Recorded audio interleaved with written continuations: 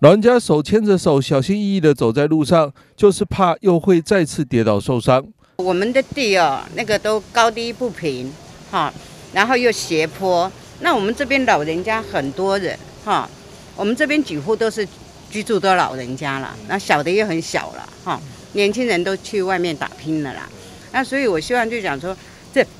这边能尽快改善，因为有时候老人家的安全安全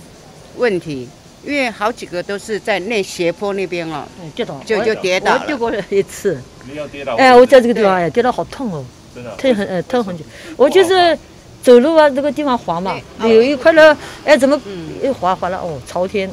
摔了呃半摔得很痛哎，嗯，看很久。这里是基隆市仁爱区石球路四十二巷。由于从巷口开始就是一段陡坡，加上路面许久未重铺，凹凸不平，不仅发生多次居民走路不慎跌倒，连送餐的外送员都摔车受伤。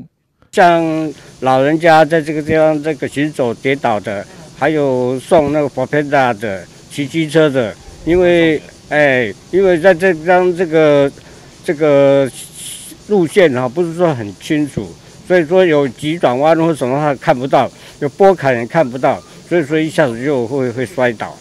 啊，这条路已经有好几十年都没有做整修了。在接获曹东里长反映后，基隆市员庄荣清特别向基隆市政府方面争取将近一百七十万的经费，将针对丝球路四十二巷及成功一路一百三十三巷七十一号与七十三号前方路面一并进行改善。这边的路面以及排水沟的这种改善哦，因为长期以来我们住在这这边的民众哦，就因为时常进出，因为路面不平，所以造成时常跌倒。那跟我们李光建李里长来反映，那李透过李里长来让我来了解这个事情，所以来这边也会看了很多次。那好不容易跟市政府争取了大概一百六七十六七六七十万的这种经费，能够来改善这个四十二项的这个路面排水沟的这个改善哈。那另外对于成功一路一百三十三项七十一号、七十三号前面的路面也一并来改善。我想最重要的是说，